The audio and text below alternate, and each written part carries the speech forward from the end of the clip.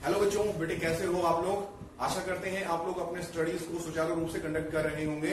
उस समय तक जब तक हम लॉकडाउन की वजह से अपनी रेगुलर क्लासेस को हेल्ड नहीं कर सकते but don't worry about that we are present here to make your all need fulfil बेटे, आज हम स्टडी करने जा रहे हैं दूसरी व्यवसायिक संस्था के प्रारूप को। लास्ट लेक्चर में हमने स्टडी किया था सोल ट्रेडरशिप या एकल स्वामित्व प्रारूप को। इसमें हम स्टडी करेंगे पार्टनरशिप प्रारूप of business organisation you know what जो हमारा एकल स्वामित्व है, उसके अंदर कुछ ऐसी कमियाँ हैं जो अभी तक हमारी दूर नहीं हो पाई हैं। हाँ companies act 2013 section two sub section 52 में एफर्ट किया गया कि हम एक वन पर्सन कंपनी को स्टैब्लिश करें।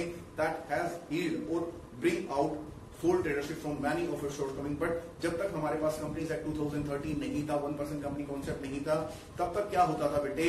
हमारे कुछ शॉर्ट कमिंग्स थे जिनको रिजोल्व करने का प्रयास किया गया था, जो हमारी साझेदारी संस्था प्रारूप है, उसके द्वारा क्या क्या शॉर्ट कमिंग्स होते थे? जैसे आप लोग रिकॉल कर सकते हैं कि भाई वहाँ सीमित संसाधन है, वहाँ एक ही व्यक्ति बहुत सारे सेल्स पॉइंट पर उपस्थित नहीं हो सकता है, उसके बाद सीमित ज्ञान होता है और वह व्यक्ति उसका जो जीवन काल है या उसका जो हेल्थ स्टेटस है, वो व्यवसाय के जीवन काल से जुड़ा हुआ है।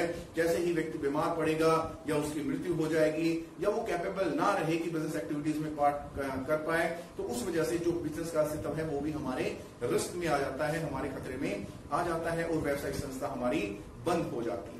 तो इन्हीं शॉर्ट कमिंग्स को दूर करने के लिए व्यवसायिक संस्था का एक दूसरा प्रारूप भी विकसित किया गया, जिसे हम साझेदारी प्रारूप के नाम से जानते हैं। यहाँ हम स्टडी करेंगे साझेदारी से क्या अभिप्राय साझेदारी से अभिप्राय उस व्यवसाय के प्रारूप से है, जिसमें दो और दो से अधिक व्यक्ति एक साथ मिलकर किसी वैधानिक व्यवसाय की स्थापना के माध्यम से लाभ अर्जित कर, उस लाभ का बंटवारा करने से संबंधित अनुबंध करते हैं और अपनी जो कलेक्टिव मैनेजर एबिलिटी है, जो उनके अंदर संयुक्त प्रबंध क्षमता है, उसका प्रयोग करते हुए उस व्यवसाय को सफल बनाने का प्रयास करते हैं।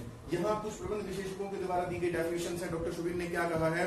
दो या दो से अधिक व्यक्ति एक साथ मिलकर साझेदारी की स्थापना कर सकते हैं किसी अनुबंध के माध्यम से, जो लिखित या मौखिक हो सकता है, जिसमें वो ये बात एडमिट करते हैं, वो ये बात मानते हैं कि वो कलेक्टिवली सभी फुल रिस्पॉन्सिबिलिटी को अज्यूम करेंगे। That means they are going to be fully responsible for all the conduct of business organisation that means व्यावसायिक संस्था जो भी निर्णय लेगी उसके लिए वो दोनों पूर्ण रूप से जवाबदेह होंगे।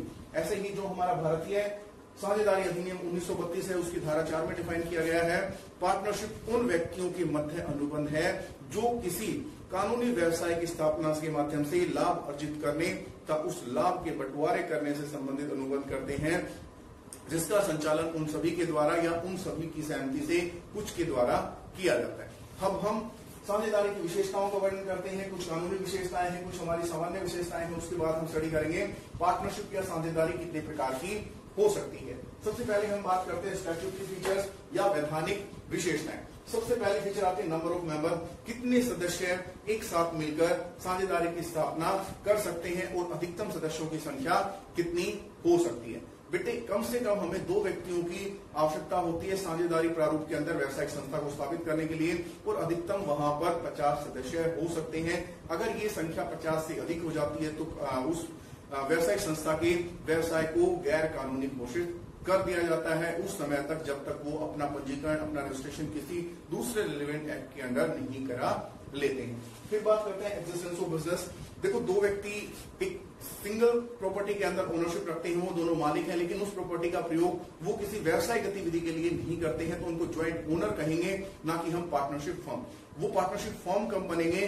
जब उनके पास कोई संपत्ति है जिसके ऊपर उन दोनों का स्वामित्व अधिकार है और उस संपत्ति का प्रयोग वो वस्तुओं और सेवाओं के उत्पादन या क्रय विक्रय के लिए कर रहे हैं, उसका उद्देश्य लाभ कमाना है। अगर लाभ कमाना नहीं है तो नॉन प्रॉफिट ऑर्गेनाइजेशन हो जाएगी और लाभ का बंटवारा भी अवश्य होना चाहिए। अगर लाभ का बंटवारा नहीं करेंगे तो उसको ज्वाइंट हिंदू फैमिली बोल सकते हैं या फिर कोऑपरेटिव सोसाइटी हम उसको बोल सकते हैं। एंड अकॉर्डिंगली उसका रजिस्ट्रेशन भी वहीं पे कंपल्सरी रहेगा, वो पार्टनरशिप नहीं कहलाएगी।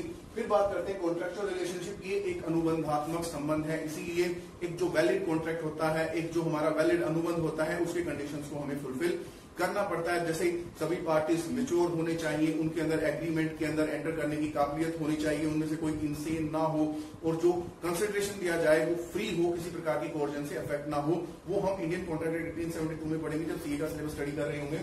फिर हम बात करते हैं profit motive post sharing profit हम पहले स्टडी कर चुके हैं कि ऐसे व्यवसाय का उद्देश्य लाभ कमाना होना चाहिए, ऐसी आर्थिक क्रिया का उद्देश्य लाभ कमाना होना चाहिए, उस लाभ का बंटवारा भी सभी साझेदारों के मध्य होना चाहिए।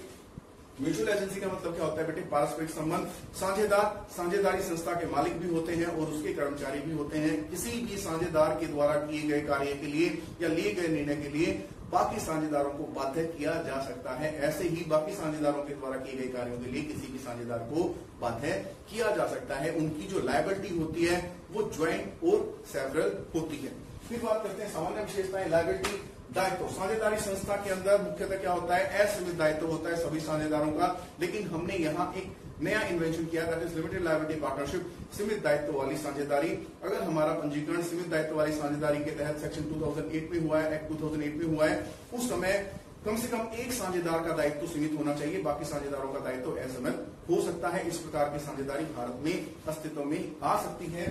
फिर बात करते हैं एक्सरसाइज जो एग्जिस्टेंस होती है अपीयरेंस होती है, या संस्था का जीवन काल होता है। वो यहाँ पे बेटे एक तो हमारा परमानेंट हो सकता है एग्रीमेंट चेंज होता रहता है, लेकिन पार्टनरशिप फॉर्म डिजोल्व नहीं होते। हमें डिफ्रेंशिएट करना पड़ता है कि साझेदारी की समाप्ति और साझेदारी संस्था की समाप्ति में। दूसरा, जो संस्था का अस्तित्व है, वो साझेदारों के अस्तित्व से पृथक नहीं होता।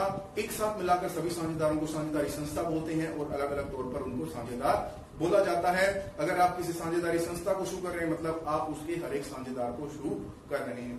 देन एटमोस्ट गुड फेथ ये पारस्परिक संबंध या पारस्परिक विश्वास का एक संबंध है। तो इस विश्वास का पालन करते हुए हमें वो सारी सूचनाएँ सभी साझेदारों के साथ साझा करनी पड़ती हैं, जो साझेदार हमारी संस्था के अंदर साझेदार हैं या जो व्यक्ति हमारी संस्था के अंदर साझेदार हैं। कोई भी ऐसा निर्णय जो किसी साझेदार ने लिया है और जिसका प्रभाव व्यवसाय की लाभ और जनक्षमता पर या व्यवसाय गतिविधियों पर पड़ता है, उसे हमें सभी साझेदारों के साथ साझा करना पड़ेगा। छुपा नहीं सकते। अदरवाइज़ हमारी पार्टनरशिप डिजोल्व हो जाती है। एटमोस्ट गुड फेथ हमारी वॉलेट हो जाती है। Restriction on transfer of interest मतलब स्वामित्व का हस्तांतरण नहीं किया जा सकता।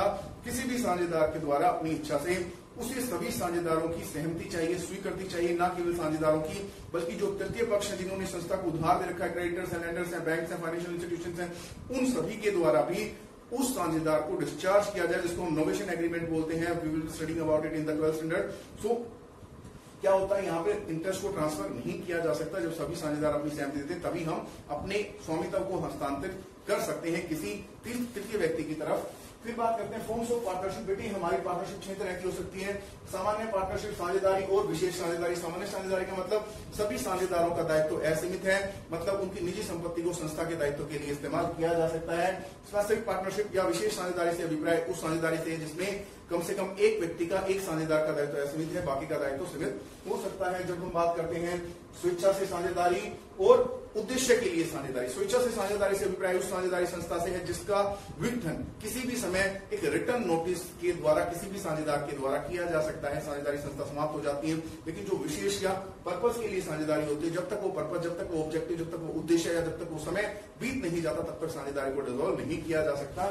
फिर बात करते हैं लीगल और इलीगल काफ़ी आधारों पर साझेदारी को लीगल और इलीगल ठहराया जा सकता है। जैसे अगर पब्लिक पॉलिसी के अगेंस्ट अगर उसका उद्देश्य गैर कानूनी है, या फिर नंबर ऑफ़ पार्टनर्स हमारा बढ़ जाता है, या फिर साझेदारी का कोई सदस्य हमारे शत्रु देश का नागरिक है, तब भी हमारी साझेदारी गैर कानूनी मानी जाएगी। बेटे, आशा करते हैं आप लोगों को ये सारा कुछ समझ में आ गया होगा। नेक्स्ट लेक्चर में हम डिस्कस करेंगे about partnership types of partners advantages disadvantages of partners and accounting of partnership तो तब तक आप लोग इंजॉय करें, अपने स्टडीज़ में कंटिन्यू रखें अगर आपको कोई डाउट आता है, आप कॉमेंट के ज़रिए हमसे पूछ सकते हैं, अपने डाउट्स को क्लियर कर सकते हैं। तो सुनिश्चित करें कि आप लोग अपनी स्टडीज़ को रेगुलर करते रहें।